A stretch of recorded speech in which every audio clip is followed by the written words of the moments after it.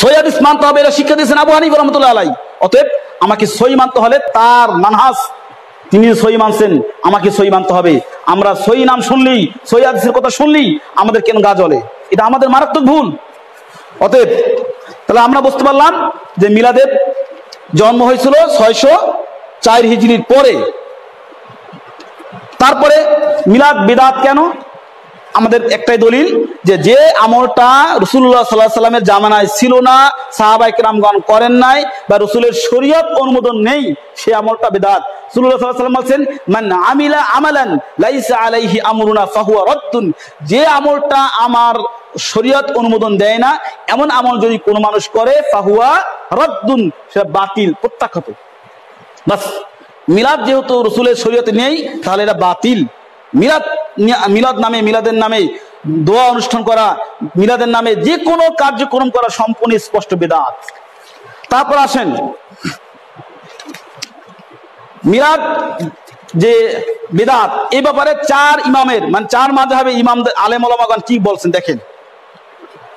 চার মাঝহাবের সেরা বিদ্যানগণ বর্তমানে যারা আছেন বা ইতিপূর্বে যারা ছিলেন, চার মাঝহাবের সেরা বিদ্যানগণের মধ্যে অধিকাংশ ওলামায় কেরামগণের ঐক্যমত, মিলাদ, কিয়াম স্পষ্ট বেদাত।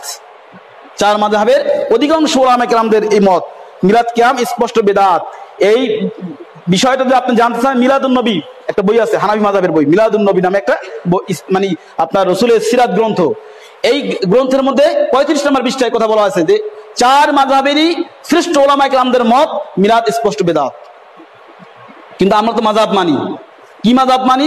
স্বার্থের মাধাব মানি। যতটুকু আমার স্বার্থে আছে, ততটুকু মানি। যতটুকু নাই, ততটুকু মানি না আমি।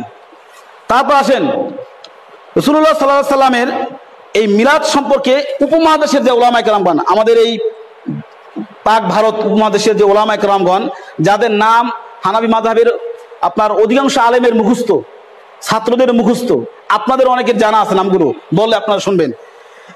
এই শুনেন, তাদের মধ্যে রয়েছেন মুজাদ্দিদি আল ফিসানি শায়েক আহমদ সার হিন্দি, নাম শুনছেন অনেকে। আল্লামা হায়াত সিন্দি, রশিদ আহমেদ গাঙ্গহি, আশরাফ আলী থানবী, মাহমুদুল হাসান দেওবন্দি, আহমদ আলী শাহরানপুরি প্রমুখ ওলামায়ক রামগণ স্পষ্ট বলেছেন, তারা বলছেন মিলাদ বিদাত। মিলাদ ক্যাম? বিদাত। এটাও আছে মিলাদুল নবীর বত্রিশ নম্বর, তেত্রিশ নম্বর বিশটায় তাহলে দেখেন, তাদের যে মূল হানাফি মাধাবের উপমহাদেশের মূল যারা, যাদের ছাত্র বর্তমান যত দেখেন কৌমি ছাত্র, যত কৌমি ছাত্র দেখেন, তাদের মূল হয়েছে কি? এই যে তাদের নাম বললাম, তাদের ছাত্র এগুলো সব। আমি তাদের ছাত্র, যেহেতু আমি কমি মাদ্রাসা পড়ছি। আমিও আমার, এরা আমার ওস্তাদ। তাহলে কৌমি মাদ্রাসার যে মূল ব্যক্তি যারা, তার মূল ওলাম একরাম তারাই বলছেন মিলাদ বিদাত। আলহামদুলিল্লাহ, একটা সত্য যে কৌমি মাদ্রাসার মধ্যে কিন্তু আপনার মিলাদ কম। একদম নাই বলতে চলে।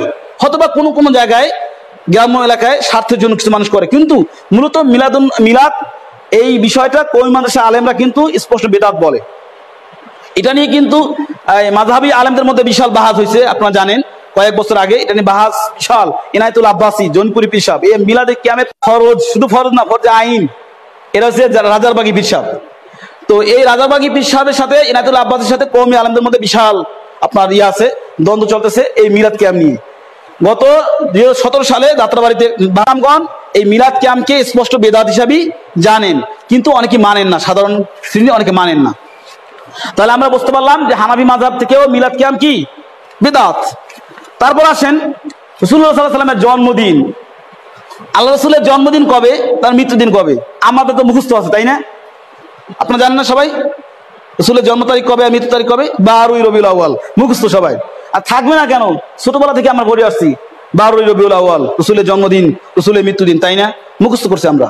আসলেই প্রকৃত ইতিহাস তালাশ করলে তারপরে এই যে আপনার জ্যোতির্বিজ্ঞান আছে কিন্তু, জ্যোতির্বিজ্ঞান মানে তারা সন গণনা করে।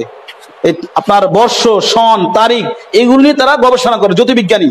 তারাও গবেষণা করে দেখল যে রসুল্লাহ সাল্লাহ সাল্লামের জন্মদিন মৃত্যুদিনের যে তারিখটা প্রচলিত, এটা ভিত্তিহীন। এটা সঠিক নয়। বরঞ্চ তার জন্ম তারিখ হচ্ছে নয় রবিউল আউ্য়াল। কত? নয় রবিউল আউ্য়াল। আর মৃত্যু তারিখ হচ্ছে পহেলা রবিউল আউ্য়াল। পহেলা রবিউল আউ্য়াল। দোনোটা ছিল সোমবার। দোনোটা কি? সোমবার। দোনোটাই ছিল রবিউল আউ্য়াল মাস। এটা ঠিক আছে। রবিউল আউ্য়াল মাস, এটাও ঠিক আছে। সোমবার দিন, এটাও ঠিক আছে। শুধুমাত্র